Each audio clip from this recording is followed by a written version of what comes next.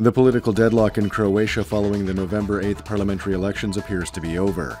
Late last night, the head of the HDZ led center right coalition, Tomislav Karamarko, and the leader of the most list of independent candidates, Božo Petrov, apparently reached an agreement on forming a parliamentary majority.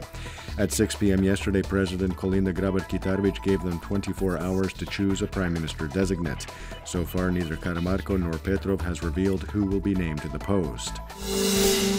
President Kolinda Grabar Kitarovic held a press conference last night at which she announced that Most and the HDZ had informed her that they had the support of 78 MPs in Parliament, two more than the minimum 76 required to form a parliamentary majority.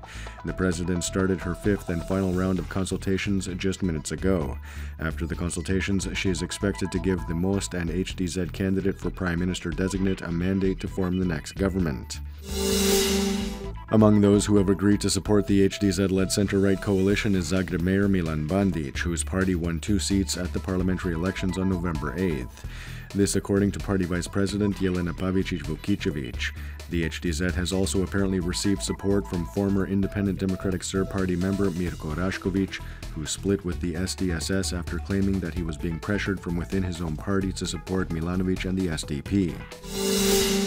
SDP leader Zoran Milanovic today held a press conference at which he said that so long as there remained a chance of his center left coalition forming the new government, he would continue to work towards doing so. He also denied once again that he or anyone within the SDP had tried to pressure individual members of Most to give the SDP their support. Speaking for Croatian radio today, senior SDP and HDZ officials Peđa Grbin and Miroslav Kovac both agreed that Croatian politics had hit rock bottom, but each accused the other side of being the root of the problem. Grbin likened Most's last minute decision to side with the HDZ to well rehearsed theater, while Kovac claimed that SDP leader Zoran Milanovic had brought political discourse in the country to new lows. While Croatia sends diplomatic notes to neighboring Slovenia, the Slovene government continues to erect razor wire fences along the two countries' shared border. The fence, initially being put up by the Slovene military, is now being erected by a private company. The fence, designed to limit the flow of migrants into the country, has been widely criticized by citizens on both sides of the border.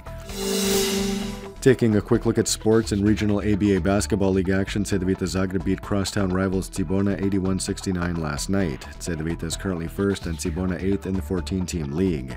In KHL Hockey League action, Zagreb's Medveščak was defeated at home by Latvian side Dinamo Riga 3-0. The Bears are currently ninth in the 14-team Western Conference.